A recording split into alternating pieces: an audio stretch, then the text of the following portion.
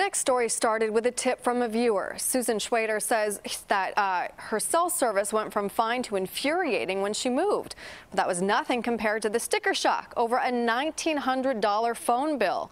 After getting nowhere with Sprint for weeks, this mother of a daughter with a seizure disorder turned to us. And the CBS 2 Morning Insiders got results.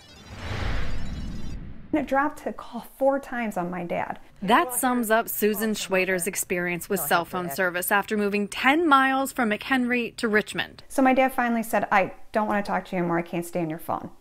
So, bucking the trend of 2019, Susan added a home phone because her cell service was so spotty. Doctors need to be able to get a hold of me. After working with Sprint to try to improve the signal, Susan gave up and says the phone company told her to send the equipment back. She said, No, there won't be any fees. You've tried, it's because of network. It'll be no problem. But no fees turned into. And then I look at my bill online and there's a $1,900 charge.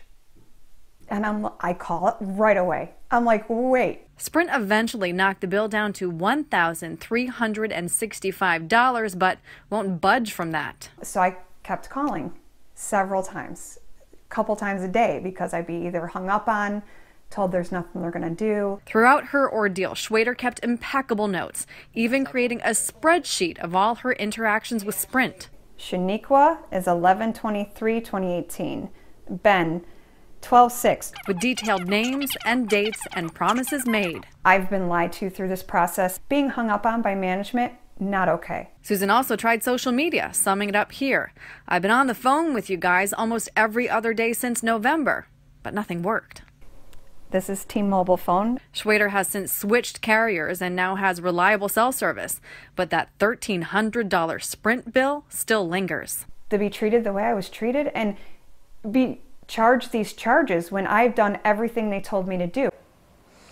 Right after we got involved, Schwader got a call from a Sprint executive who reduced her bill to zero.